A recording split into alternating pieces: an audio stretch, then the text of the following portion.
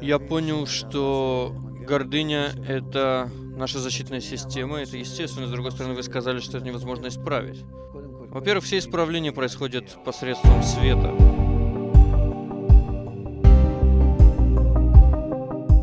И вдруг ты увидишь, что эта гордость, прежде всего, начинает исчезать постепенно, а потом она начинает возвращаться, но уже в иной форме.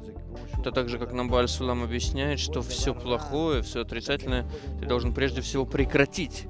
А потом в определенной контролируемой мере ты можешь возвращать это свойство и начинать использовать его верным образом. То же самое происходит с гордостью.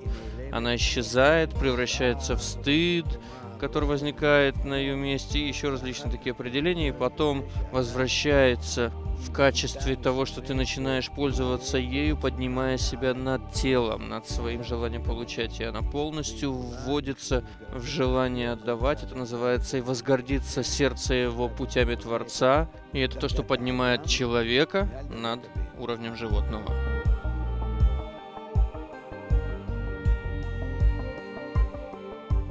Так что не волнуйся, чем больше гордости, тем лучше.